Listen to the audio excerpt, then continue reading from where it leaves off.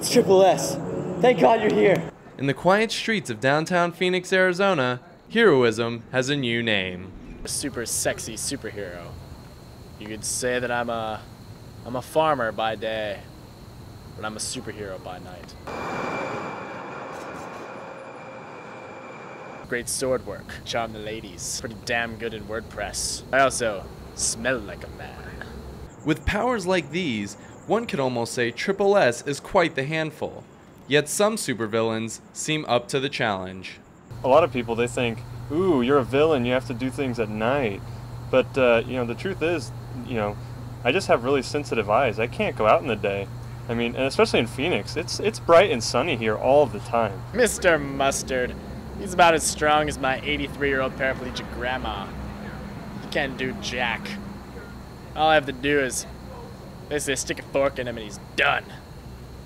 Just gotta find the little rascal.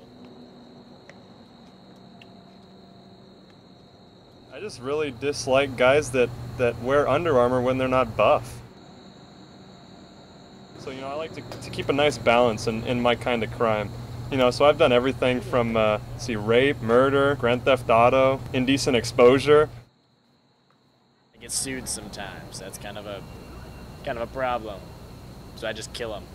So I was like, well, I want to go somewhere where I can be my own villain, and I don't have to ride the coattails of other cool villains.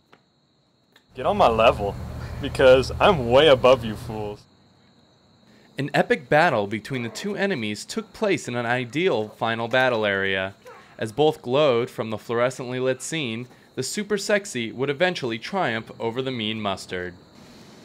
In the new changing world of the Facebook and other GPS global positioning system devices, it makes it a little easier for me to find the villains. I don't have to do as much work. Phoenix is a much safer place. It will always be without the mean Mr. Mustard. Overly cliched voice inflection with some sort of relevant pun. For JMC 305, I'm Blake Wilson.